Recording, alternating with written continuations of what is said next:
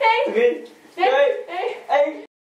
Het is weer zover, die typische zomers in Nederland. Het is heel erg bewolkt en benauwd, met af en toe een straaltje zon. Het perfecte weer voor een duik in de zee. Maar wacht, je hebt nog tentamens. Je zit binnen weg te kwijnen en voelt je futloos. En dit gaat ten koste van je tentamens. Die je natuurlijk niet wil verknallen, want anders moet je ze herkansen.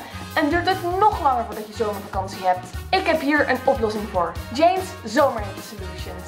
Zomerhitte Solution 1. Neem een lauwe douche. Als je binnen zit weg te kwijnen van de hitte, ben je toe aan verkoeling. Voor een ritje naar het strand of zwembad heb je geen tijd, want je moet leren. Hoe los je dat nou op? Neem een lauwe douche. Dit zorgt vanzelfsprekend voor verkoeling, maar ook voor een fris gevoel. Heb je helemaal geen zin om te gaan douchen? Hou dan je polsen onder de kraan, leg een koud washandje in je nek of ga met je voeten tot je enkels in een voetenbadje met lauw koud water. Dit zorgt voor verkoeling omdat op deze plekken in je lichaam de meeste aderen bij elkaar komen. Als je die plekken koel maakt, trekt deze verkoeling door naar de rest van je lichaam. En dit zorgt voor een heerlijk verkoelend gevoel. Zomerhitte Solution 2. Hou je vochtgehalte op peil. Dit klinkt natuurlijk logisch, maar dit is moeilijker dan gedacht. Na 10 glazen van dat saaie water wil je wel eens wat anders. Maar wat? Voeg bijvoorbeeld iets toe aan je water voor wat smaak. Denk aan wat limoen, munt of komkommer. Ook bevroren fruit is een goede optie. Het geeft en een lekker smaakje en zorgt ervoor dat je water koud blijft. Ook kun je natuurlijk een stuk fruit nemen, bijvoorbeeld watermeloen. Dit smaakt lekker fris en zoet en er zit ook nog eens heel veel vocht in. Zomerhit Solution 3.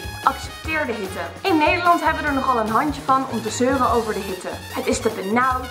Ik zweet me kapot. Wist je dat dit averechts werkt? Door je erover op te winden, bezorg je jezelf stress. Van stress gaat je hart sneller kloppen en gaat je lichaam onbewust harder werken, waardoor je het sneller warm krijgt en meer gaat zweten. Leg je erbij neer dat het benauwd is en ga door met wat je moet doen, bijvoorbeeld leren. Hierdoor verleg je je focus van de hitte naar je leerwerk, ben je sneller klaar en kan jij met een glaasje limoenwater lekker in de tuin zitten. Ik heb zelf nog één tentamen voordat ik vakantie heb. Ik kan niet wachten. Ik wens je succes met de laatste loodjes en als je al vakantie hebt, Laat me weten in de comments waar jij naartoe gaat deze zomer. Wil je weten wat je moet eten tijdens het leren? Klik dan hier. Wil je weten wat voor types je in je projectgroepje tegenkomt? Klik dan hier. Abonneren. Kan hier.